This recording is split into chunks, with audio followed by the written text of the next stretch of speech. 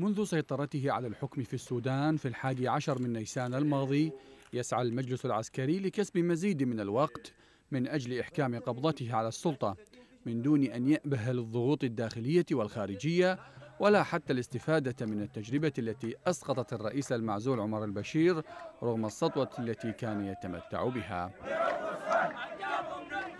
اتضحت المماطلة من خلال موقف المجلس العسكري من الوساطة الإثيوبية التي نجحت في الحصول على دعم كبير من الإدارة الأمريكية والاتحاد الأوروبي والاتحاد الإفريقي.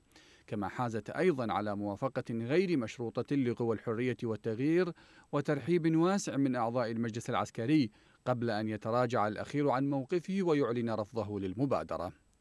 ورقة الوساطة الأفريقية كانت قد أقرت الشراكة بين المجلس العسكري وقوى إعلان الحرية والتغيير وأيدت بدء التفاوض من حيث انتهت آخر جلسة قبل مجزرة فض اعتصام الخرطوم مطلع حزيران الحالي.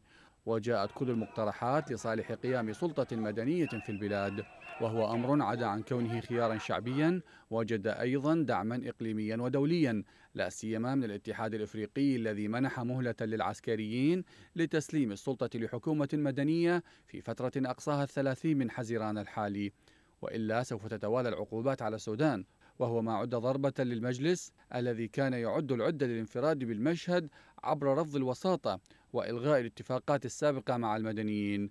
فضلا عن تحركات قائد قوات الدعم السريع محمد حمدان دقلو حميدتي والذي بات المتحكم الأول في صنع القرار داخل المجلس العسكري وسط غياب لرئيس المجلس عبد الفتاح البرهان. القيادي بالتجمع إسماعيل تاج قال إن رفض المجلس العسكري للوساطة الإثيوبية يدفع للمضي إلى الأمام في التصعيد الثوري والإعداد لموكب مليوني حدد في يوم الثلاثين من حزيران. محذرا المجلس العسكري من مغبة الاستمرار في التعدي على وسائل التعبير السلمي وإطلاق الرصاص على المتظاهرين.